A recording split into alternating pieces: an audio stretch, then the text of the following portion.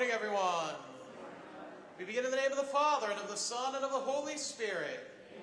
The grace of our Lord Jesus Christ, the love of God, and the communion of the Holy Spirit be with all of you. My brothers and sisters, we join together on this Wednesday and celebrate this day of votive Mass to St. Joseph. Let us acknowledge our sins, and so prepare ourselves to celebrate the sacred mysteries.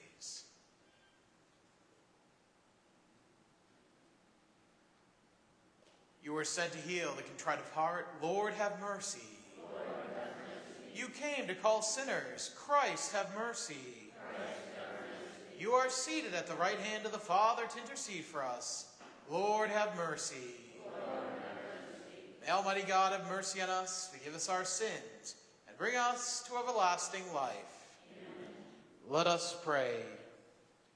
O God, who in your inexpressible providence were pleased to choose St. Joseph as spouse of the most holy mother of your Son, grant, we pray, that we who revere him as our protector on earth may be worthy of his heavenly intercession.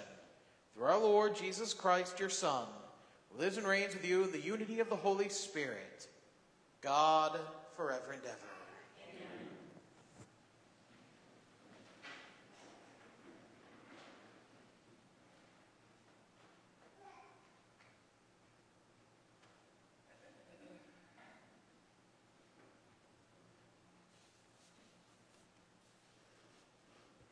A reading from the second book of Kings. When the Lord was about to take Elijah up to heaven in a whirlwind, he and Elisha were on their way from Gilgal. Elijah said to Elisha, Please stay here. The Lord has sent me on to the Jordan. As the Lord lives and as you yourself live, I will not leave you, Elisha replied. And so the two went on together. Fifty of the guild prophets followed, and when the two stopped at the Jordan, they stood facing them at a distance. Elijah took his mantle, rolled it up, and struck the water, which divided, and both crossed over on dry land. When they had crossed over, Elijah said to Elisha, Ask for whatever I may do for you before I am taken from you. Elisha answered, May I receive a double portion of your spirit. You have asked something that is not easy, Elijah replied. Still, if you see me taking up from you, your wish will be granted, otherwise not. As they walked on conversing, a flaming chariot and flaming horses came between them and Elijah went up to heaven in a whirlwind. When Elisha saw it happen, he cried out, My father, my father, Israel's chariots and drivers. But when he could no longer see him, Elisha gripped his own garment and tore it in two. Then he picked up Elijah's mantle that had fallen from him and went back and stood at the bank of the Jordan. Wielding the mantle that had fallen from Elijah, Elisha struck the water in his turn and said, Where is the Lord, the God of Elijah? When Elisha struck the water, it divided, and he crossed over. The word of the Lord. Let your hearts take comfort, all who hope in the Lord. Let your hearts take comfort, all who hope in the Lord. How great is the goodness of God, which you have in store for those who fear you, in which, toward those who take refuge in you, you show in the sight of the children of men. Let your hearts take comfort, all who hope in the Lord. You hide them in the shelter of your presence from the plottings of men. You screen them within your abode from the strife of tongues. Let your hearts take comfort, all who hope in the Lord. Love the Lord, all you his faithful ones. The Lord keeps those who are constant, but more than requites those who act proudly. The Lord.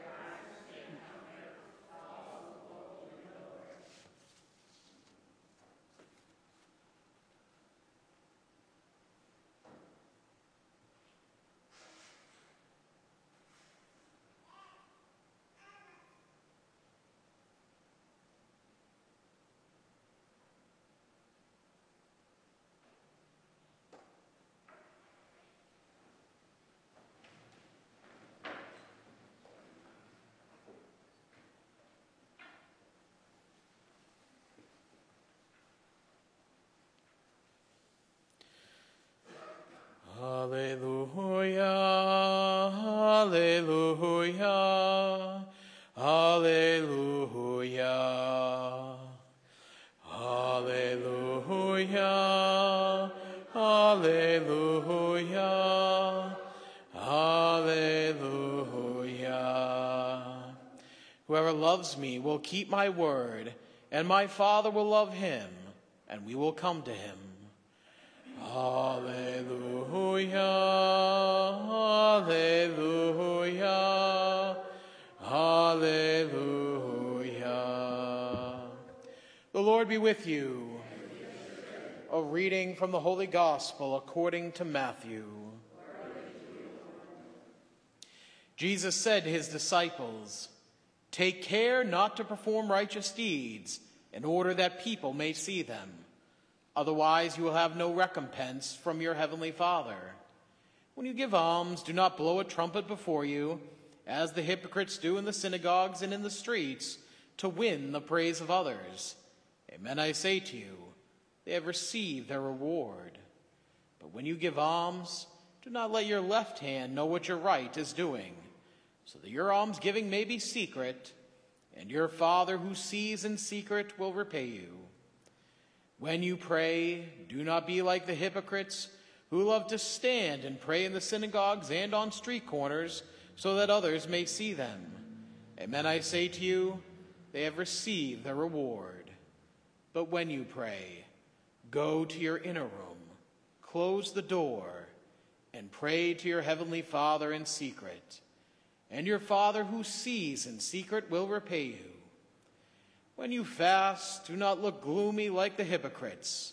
They neglect their appearance so that they may be appear to others to be fasting. Amen, I say to you, they have received their reward.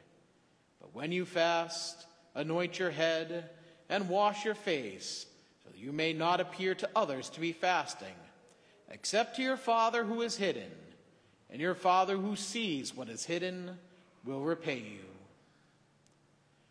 The Gospel of the Lord.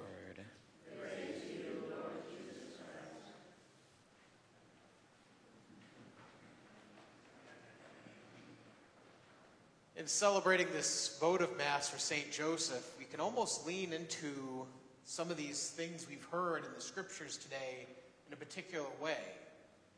When you talk about Elisha the prophet, who's different than Elijah the prophet, obviously, you see this kind of handing off, if you will, this mantle of uh, being the prophet, so to speak, that goes from Elijah to his protege. And it's a very interesting kind of handoff here because you know, Elijah's trying to just say, all right, like, let me go and finish my mission here. And Elisha's like, well, I'm not leaving you. And then when he asks for something, he asks for a double portion of his spirit. And you almost kind of get the sense, like, you know, of those words that our Lord says to James and John in the scriptures, kind of like, you don't know quite what you're asking here, bud. But, you know, if you see me taken up to heaven, like, you know, in a whirlwind here, you're going to get your wish. And so it happened. That's almost where we get this phrase, quote unquote, taking up the mantle. Huh? Oh, there we go. Everybody just, uh, the light turned on for everybody, right? So this is kind of where we understand this kind of, you know, gifting, if you will.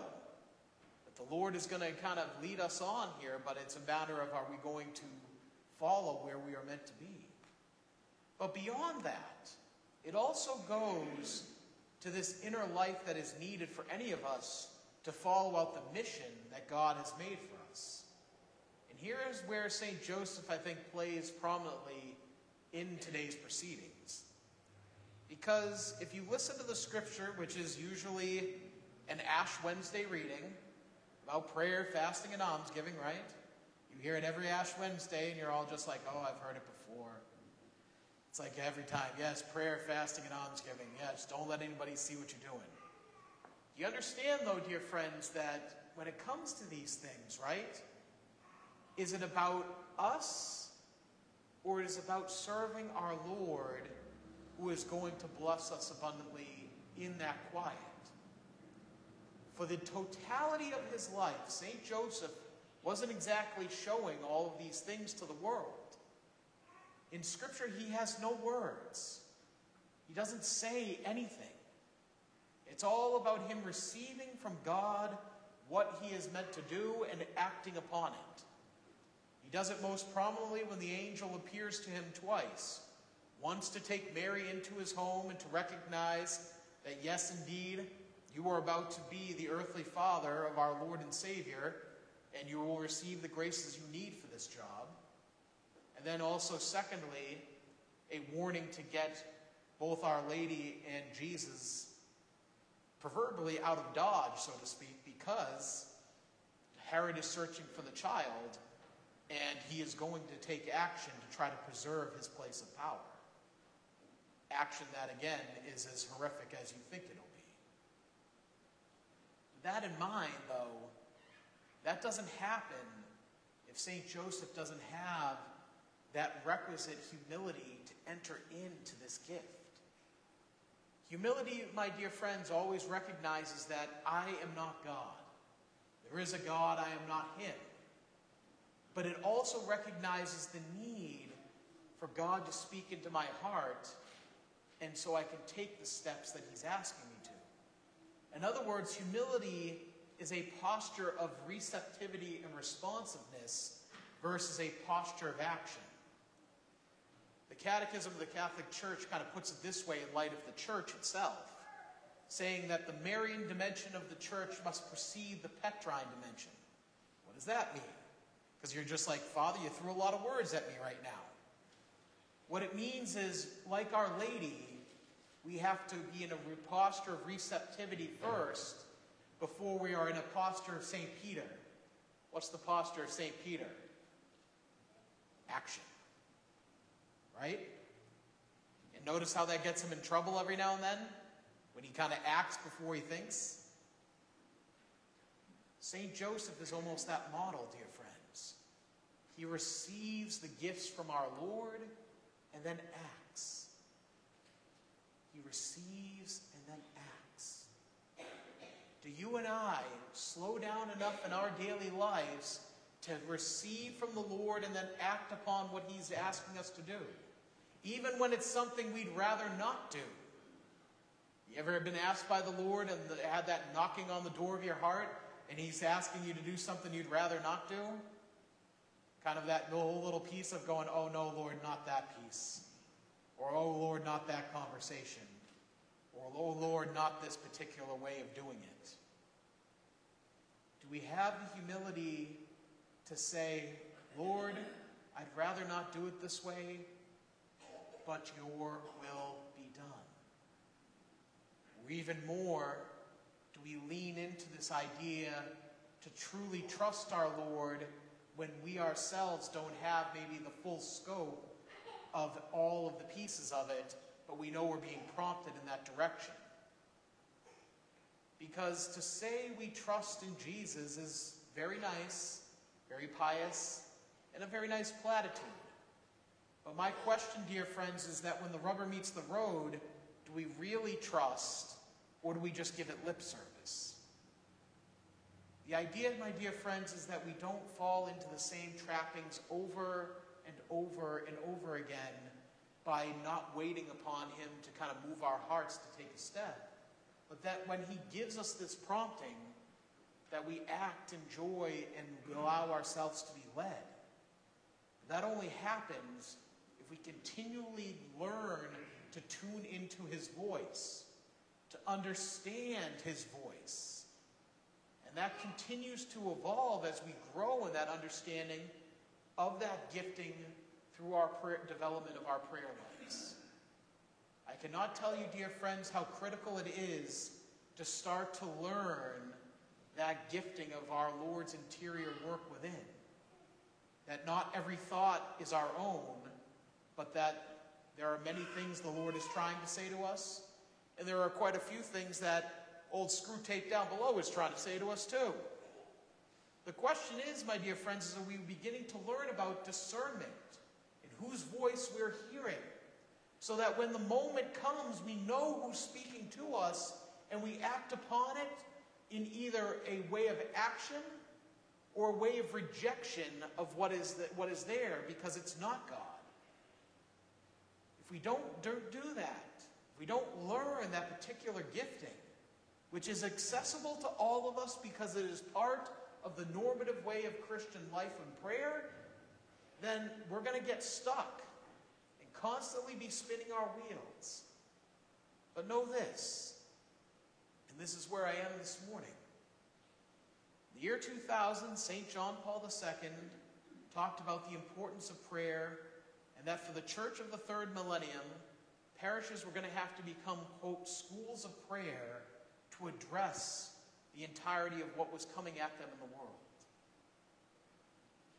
Well, 24 years on, my dear friends, we're making some headway in that, but not a ton. My question to you is that are you taking that, those opportunities to grow in that life of prayer when it's presented to you? Because he is making us in this way of entering into this beautiful communion with him. He's making avenues for us to enter into this communion. But so often we let these lesser things of the world control everything around us. We don't take the opportunity when the, doors, the Lord's knocking at the door of our heart.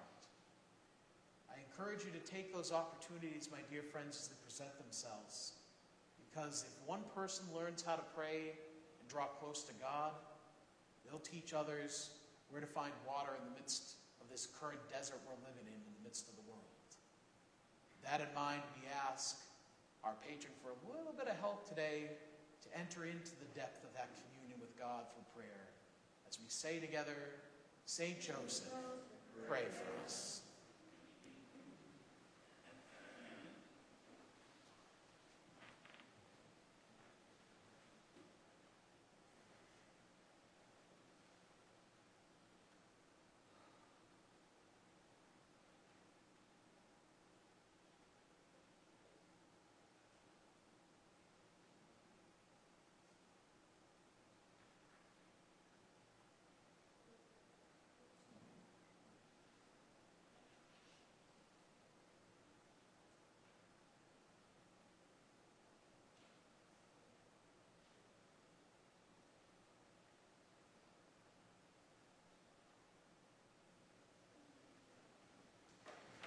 Trusting in our Lord and Savior, let us lift our prayers before him this day. For children who have lost their parents, for their sadness being tempered by, by the comfort of God, we pray to the Lord. For those who do not have access to healthy or fresh food, may their communities seek solutions to erase trouble in this area, we pray to the Lord. Lord those in need of hope in their lives. May they find comfort in the living God, we pray to the Lord. Lord For a continued giving of ourselves, that we may serve one another in the ways that our Lord is prompting to in our own hearts, we pray to the Lord. Lord For those who are sick and suffering, silently here in our community, may our prayers bring comfort as God brings healing. We pray to the Lord for those who have died, in a particular way for Bishop Daniel Reilly, the Bishop Emeritus of this diocese, who passed away yesterday evening. May he and all those who have passed from this life rejoice in our Savior. We pray to the Lord. and as we lift up Bernice Camitis in the prayer of this liturgy, let us also offer up our own prayers to the Lord in the silence of our own hearts.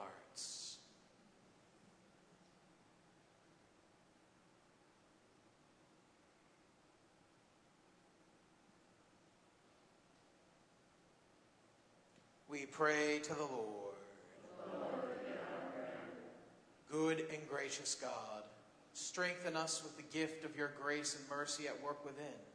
And through the intercession of St. Joseph, may our hearts be attuned to the will of God in our prayer lives, that we may respond generously to the promptings of the Spirit, leading us onward to serve not only our Lord, but one another. And we ask this Christ our Lord.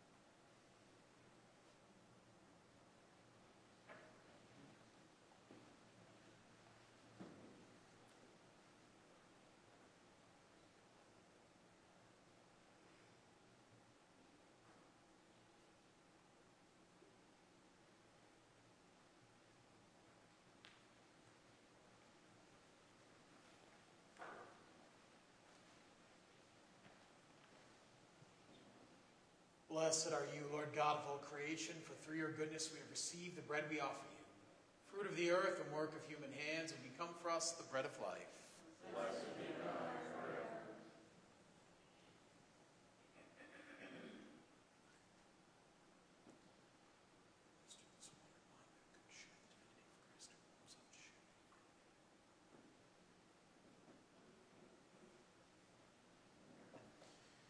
Blessed are you, Lord God of all creation, for through your goodness we have received the wine we offer you. Of the vine and work of human hands will become our spiritual drink.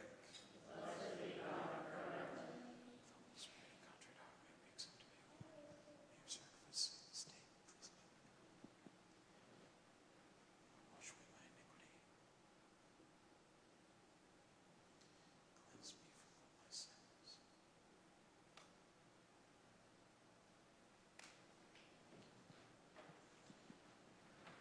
Brothers and sisters, that my sacrifice and yours may be acceptable to God, the Almighty Father.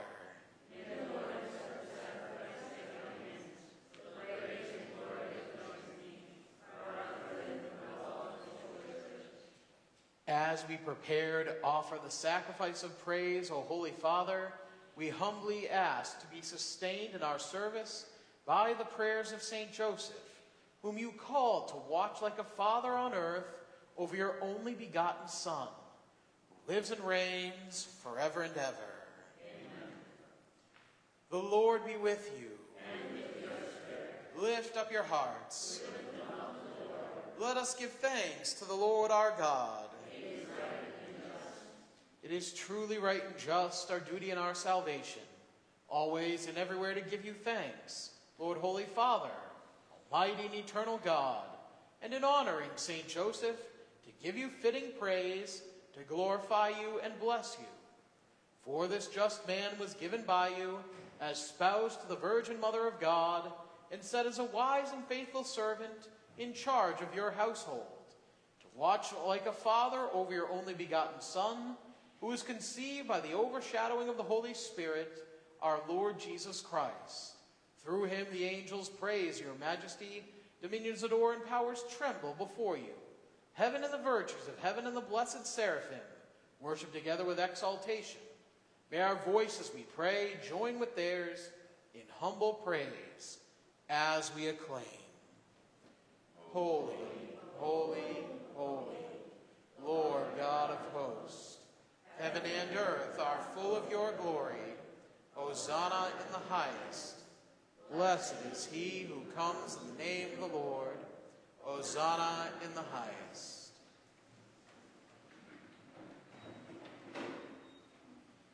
You are indeed holy, O Lord, the fount of all holiness. Make holy, therefore, these gifts, we pray, by sending down your Spirit upon them like the dewfall, so that they may become for us the body and blood of our Lord Jesus Christ. At the time he was betrayed and entered willingly into his passion, he took bread and, giving thanks, broke it and gave it to his disciples, saying, Take this, all of you, and eat of it, for this is my body, which will be given up for you.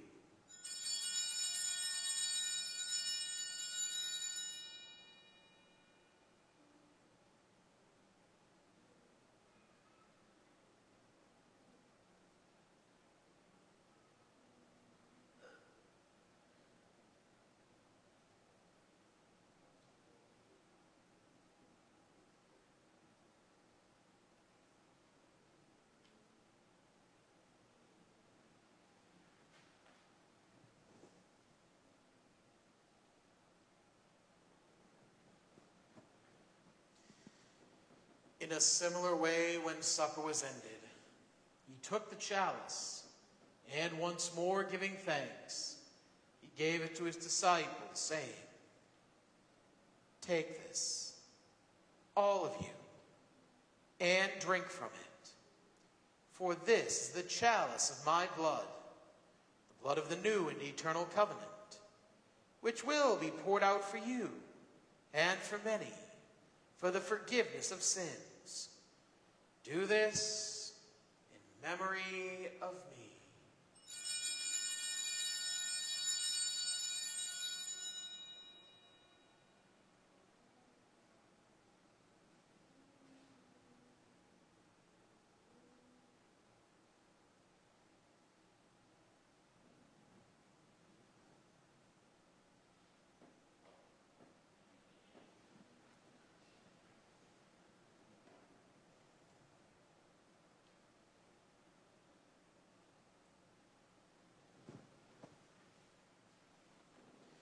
The mystery of faith. Save us, Savior of the world, for by your cross and resurrection you have set us free. Therefore, as we celebrate the memorial of his death and resurrection, we offer you, Lord, the bread of life and the chalice of salvation, giving thanks that you have held us worthy to be in your presence and minister to you. Humbly we pray that partaking of the body and blood of Christ, we may be gathered into one by the Holy Spirit. Remember, Lord, your church spread throughout the world and bring her to the fullness of charity, together with Francis our Pope and Robert our Bishop and all the clergy. Remember also our brothers and sisters who have fallen asleep in the hope of the resurrection and all who have died in your mercy. Welcome them into the light of your face. Have mercy on us all, we pray of the Blessed Virgin Mary, Mother of God, with blessing Joseph, her spouse, the blessed apostles, and all the saints who have pleased you throughout the ages, we may merit to be co-heirs to eternal life, and may praise and glorify you through your Son, Jesus Christ.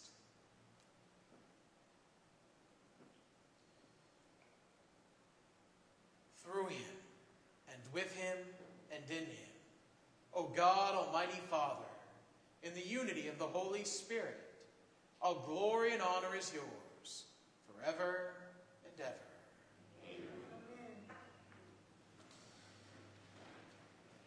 At the Savior's command, informed by divine teaching, we dare to say, Our Father, who art in heaven, hallowed be thy name. Thy kingdom come Thy will be done, on earth as it is in heaven. Give us this day our daily bread, and forgive us our trespasses, as we forgive those who trespass against us. And lead us not into temptation, but deliver us from evil. Deliver us, Lord, we pray, from every evil. Graciously grant peace in our days, that by the help of your mercy we may be always free from sin, safe from all distress, as we await the blessed hope, the coming of our Savior, Jesus Christ.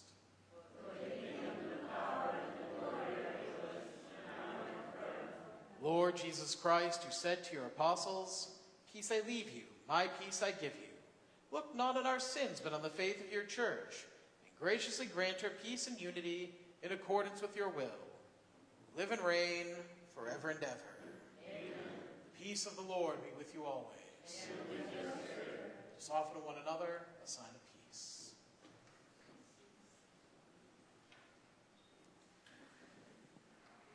Agnus Dei, qui tollis peccata mundi, miserere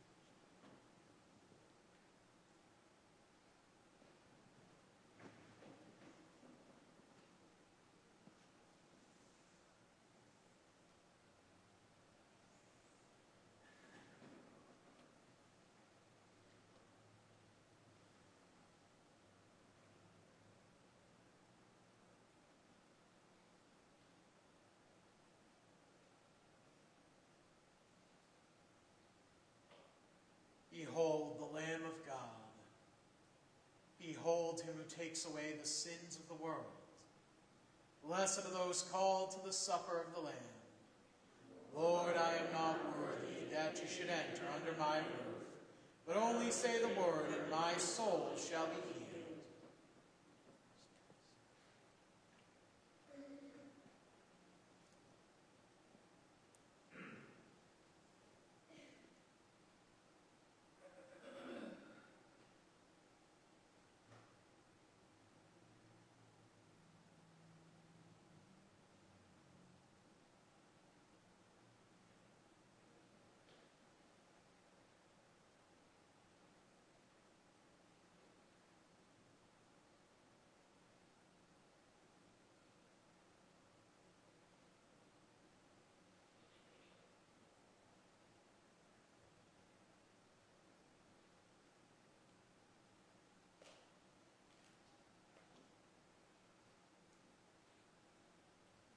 The communion antiphon.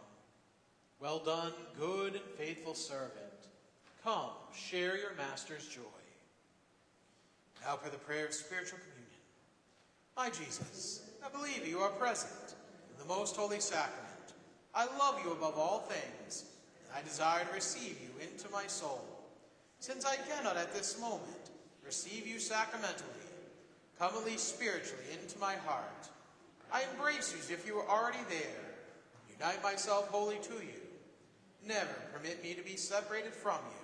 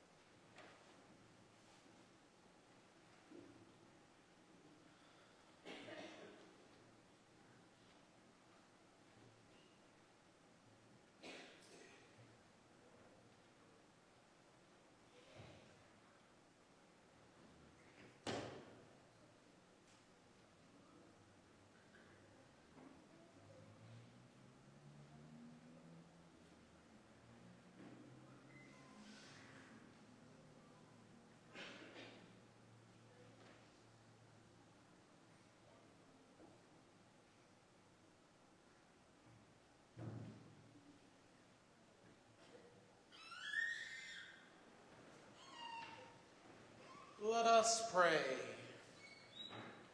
Restored by these life-giving sacraments, Lord, we may, may we live with for you always in justice and holiness, helped by the example and intercession of Saint Joseph, who in carrying out your great mysteries served you as a man just and obedient. Through Christ our Lord. Saint Michael, the archangel, defend us in battle. Be our protection against the wickedness and snares of the devil. May God rebuke him, we humbly pray.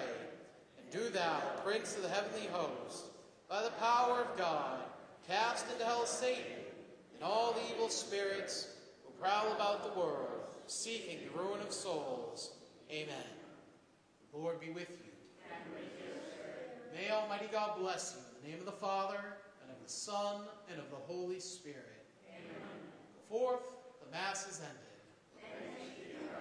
Have a great day, everyone.